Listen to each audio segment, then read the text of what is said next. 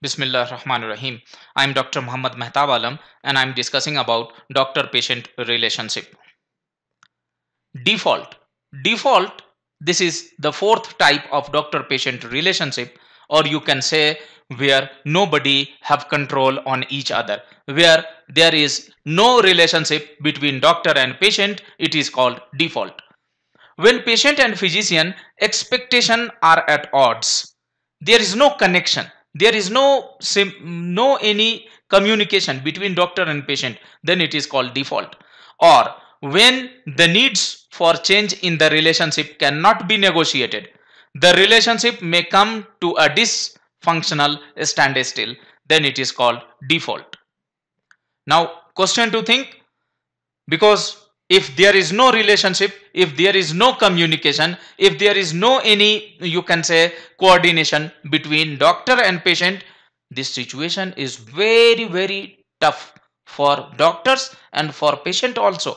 So the question to think is how to resolve this kind of embarrassed situation? How you can solve these situations? What are the possible solution for these type of situation? Just try to write down the answers for this. Doctor-patient relationship in the past. The oldest relationship between doctor and patient was paternalism because physician in the past are people who have higher social status. Doctor is seen as a sacred occupation which saves people lives. The advice given by doctors are seen as paramount mandate. Now doctor-patient relationship at present Present consumerism and mutuality. These both prevails in the current situations. Consumerism and mutuality. Patient nowadays have higher education and better economic status and even better knowledge also. The concept of patient's autonomy and the ability to questions doctor. All these are the characteristic of doctor-patient relationship at present. Now, what are the reason for change? Because in older days, in early days, it is paternalism and now consumerism and mutuality. So, what are the reason of that change?